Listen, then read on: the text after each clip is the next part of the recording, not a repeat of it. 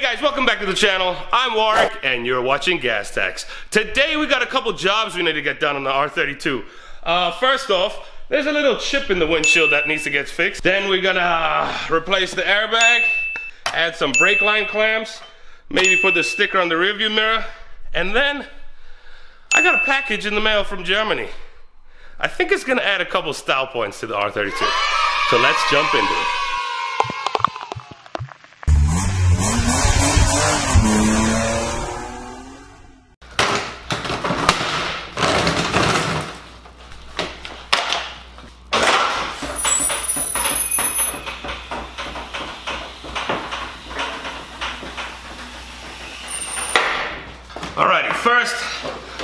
Let's open this gloss repair kit. Never done gloss repair. Uh, I think this was $9 on Amazon. And look, I get a free gift if I uh, share my experience. Which one of you is sending me the free gift? Thank you. Okay, okay.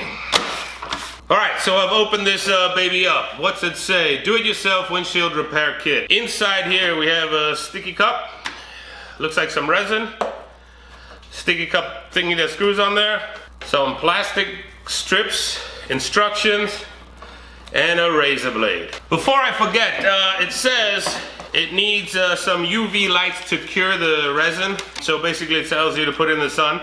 There's no wheels on the car and I don't have a skylight in here. So I did pick up uh, a UV light. Hopefully it cures it. If not, uh, I guess I'll do this again. Let's jump into it.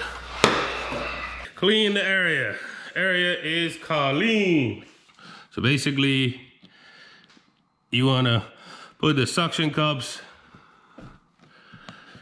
around the chip. The chip is now in the middle. I know you guys can't see it.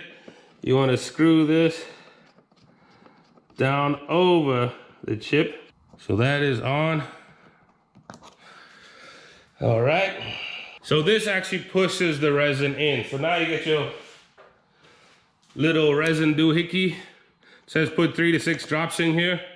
And then you push the resin in with this.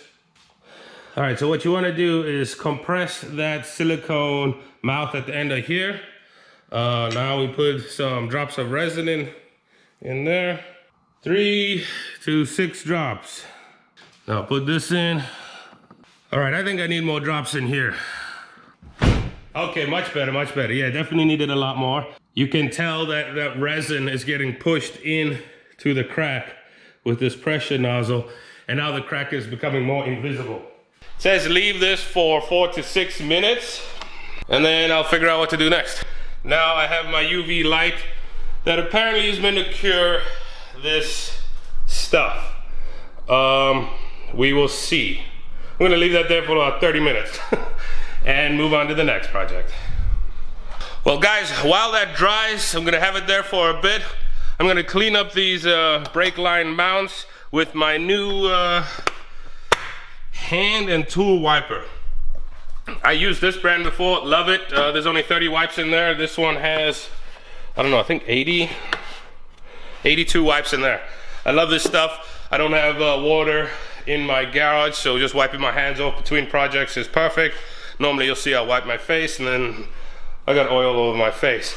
But let's wipe these up so I can install them on the new Bilsteins. So the heat shield for the brake lines are on. That was nice and easy. Uh, I was able to take them off my old shocks.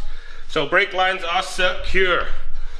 On to the next project. Um, hmm, what to do while that's drying. I don't want to, you know, move the car too much. I think we shall do the airbag. On this airbag, there's a big dent here. I know it's pointless uh, to worry about, but knowing there's so many owners, there might not even be an airbag in there. So to remove the airbag, you actually need the car, uh, the steering wheel to work. So I'm gonna hook the battery back up. But here is a good video how to remove a VW steering wheel from Humble Mechanic. I will leave the link uh, below for this video. Uh, he will explain it 10 times better than I do. So next time you see this, it will be done. I know it's skew there, but it's not actually skew. It's just locked in the, you know, safety mode. But yeah, it's uh, no dent. Was it worth it? I don't know, it cost me 60 bucks, maybe it's worth it. And uh, yeah, so now I'm gonna clean this up We're gonna go back to this because I just did another coat of it to try to get rid of that one bubble. And then it's on to something that's gonna give me some style points.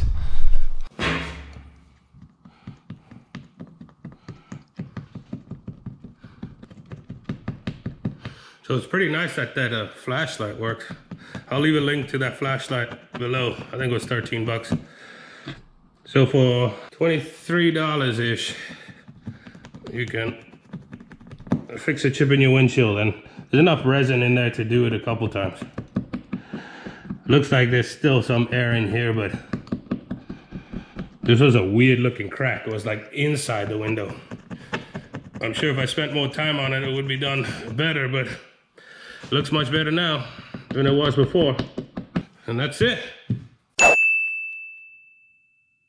Alrighty, let's check what's in the box from Germany.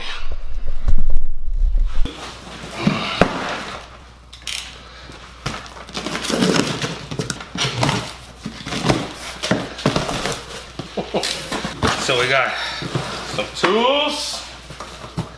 Let's hope it fits. Let's hope it's right.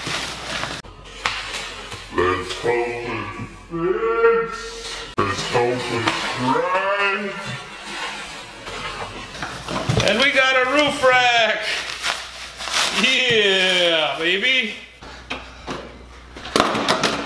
And boom, we have a OEM uh, roof rack. Why? I think it'll look cool on this thing. Uh, I know some people think it looks stupid. Uh, I personally think it uh, makes the car look a little cool. And plus, I can uh, put a, a surfboard on top and act like I'm athletic. Uh, maybe I'll do a surfboard and a snowboard at the same time and just leave it like that all, all year round. Let's see if I can install this. Well, guys, you win some and you lose some. So, yeah, this is for a four-door car. Uh, and I don't know if you know, R32 doesn't have four doors. so pretty simple to install though.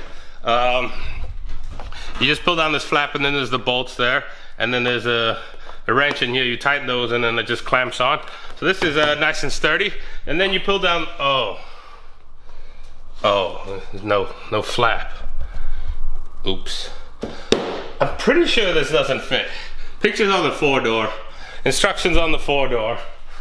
Uh, hmm, this is in German, so I don't know what that says. It's cool that there was the receipt from uh, Autohaus in Berlin. 209 DM or 106 euro back in 1999. Damn, that's crazy.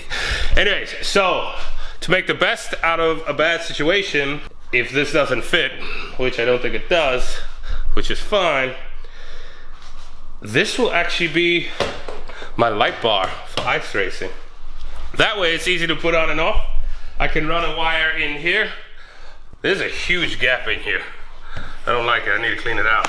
But anyways, and then I'll just have a like a little plug switch here. I'll put my rally lights on here for uh, winter time and pa-ding, then I don't have to mess with the front bumper. So yeah, and then because I have two, why not do two different configurations of rally lights?